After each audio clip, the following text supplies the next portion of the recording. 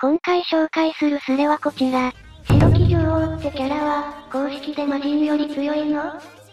公式クロスオーバーで格上扱いされてた覚えが、逆にオテヌスは血染めの座敷わらしより格上扱いされとる。ヘッナニが禁書キャラや、白木女王のヘで死ぬくせに、ま、またマウントスレか。待てよ。マウントとかじゃなく同じ作者の設定なんだぜ。女王はヘなんかしない。陛下イコール後期の擬人か。陛下を貶める発言など許されないんや。ああ、禁書キャラを愚弄してるのか陛下を愚弄してるのかわかんねえよ。うん、実際かまちい作品クロスではイマジンブレイカーこそ武具の一つで吹き飛ぶことはなかったとはいえ、北欧神格のカゴを受けたオブジェクトやらアブサードやら蹂躙してるから仕方ない本当に仕方ない。兄上が女王を呼び出すって構図的にはしっくりくるのに作中で見るとまれっすよね。エッカマチーの作品くらいしか知識ないにわかなんすけどこの人そんなに強いんですか？禁書キャラコラボで出演したことがあるけど、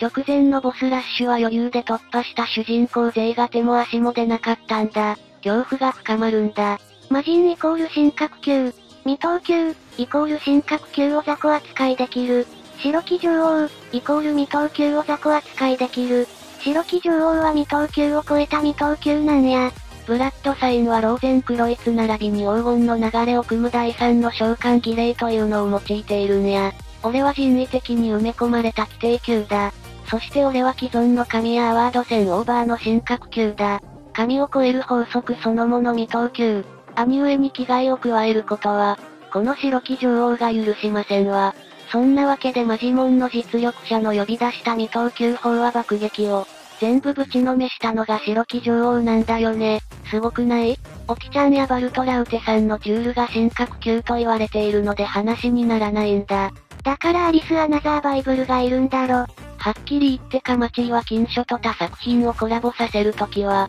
金書キャラより他作品キャラの方が強いことにして勝たせること多いから、金書キャラで強さマウントとか意味ないよ。最強格のオテヌスすらタングラムが片手間に力を与えたり取り上げたりできる扱いなんだよね。しかも意外とヒロイン二人がなかったことになるとはいえ一回ガチで殺されている。とにかくバーチャロンコラボはタングラムが強、超えた強き者だったり、オテヌスが全盛期の力を取り戻したりブルーストーカーにヒロインが殺されたりする危険なコラボなんだ。魔人イコール神格級。未等級を超えた未等級の白木女王に勝てるわけないんや。まっその神格級の魔人が客観的に見て何でもありを超えた何でもありで全能だから、バランスは取れてるんだけどね。本当に全能だったら自分の世界を思い出せないとか言い出さないはずじゃないですか。まあそういう精神的な弱点を除けばほとんど何でもありなのは変わらんけどな。なんかオテヌス鼻くそぶつけられただけで死ぬって言われてるの見たんだけど、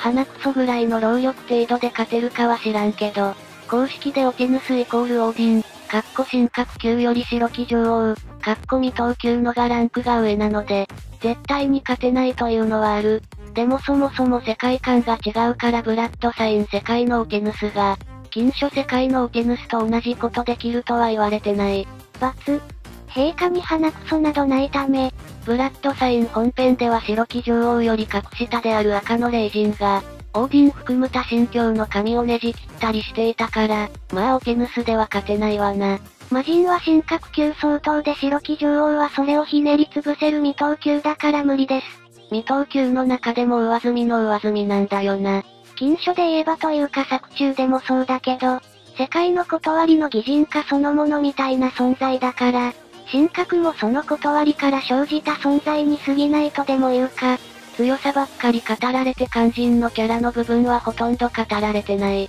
女王語ると5割は兄上に持ってかれるとこあるからな。メリーとか初見で知るのはもったいない。言っちゃなんだが強さ以外は普通に恋する乙女以外の属性ないからなこのヒロイン。というか主人公への恋心で初めて自我らしき自我が芽生えたっていうある種の幼女キャラですらある。今回の動画は以上です。ご視聴ありがとうございました。